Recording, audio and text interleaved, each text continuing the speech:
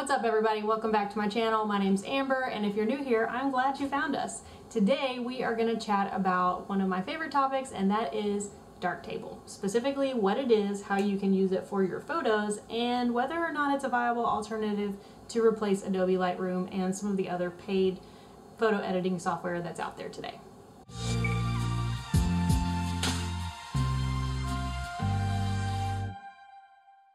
Okay, so if you're here, you're obviously wondering what is Darktable. Darktable is free open source software that you can use to edit photos. It can edit raw photos, which actually makes it a pretty viable alternative to replace Adobe Lightroom. And actually, if you stick through to the end of the video, I will tell you why I believe it is even more powerful than Adobe Lightroom and why you might even want to consider switching even if you are pretty happy where you are. Um, but it's free open source software that you can use to edit your photos not only can you use Darktable as a photo editor, you can also use it to organize and rate your photos with a star system or a color rating system just like you do in Lightroom to help you figure out which ones you want to keep and which ones to trash. Darktable gives you tons of options to edit your photos. It uses two modules, one to import, export, and do your major actions to mass amounts of photos. That's called Lighttable. The second module is called Darkroom. That's the one where you actually get into the meat and potatoes of editing your photos. So you use these two modules kind of in conjunction with each other. You use Lighttable to import your photos, get them organized, give them star ratings if you want to, and decide which ones to keep and delete. Then you can click over into the Darktable section and edit your photos the way that you want to. The thing I really like about Darktable is that it's very powerful. There are so many things that you can do in Darktable that you couldn't do in Lightroom. Lightroom is only going to let you move your sliders so far so that you don't break your photos and so that you don't get frustrated and try to quit. Darktable is developed by some super smart people who know more about photo editing than I will ever pretend to know, and they don't really care if you break your photos.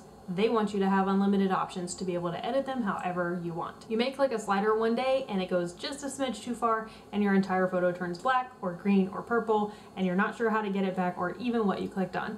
That can be a little bit intimidating for a beginner. Don't worry though, if you're a beginner and you're not sure how to get started with Darktable and you don't want to break anything, there are plenty of tutorials on YouTube that can help you out.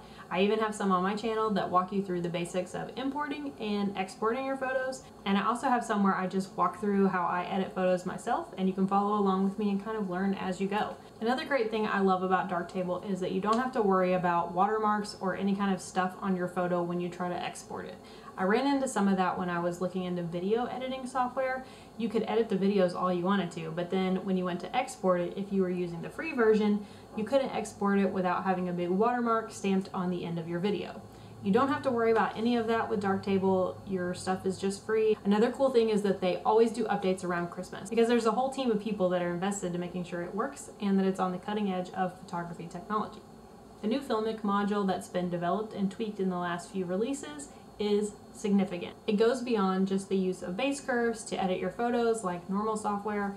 There are tons of modules to choose from in Darktable to edit your photos, like split toning, color corrections, cropping, rotating, balancing your photos. You can do probably everything that you needed to do with your photos and probably a lot more. I've been using this software for quite a while now and I still find new things in here all the time when I'm in here editing my photos. If you're like me and you're tired of paying subscription fees to Lightroom or you just want to give some new software a try, come on over and try Darktable. I don't think you're going to be disappointed. Thanks for hanging out with me today. I really appreciate seeing you guys here. If you haven't already, please subscribe to my channel, give this video a thumbs up, and I will see you next time.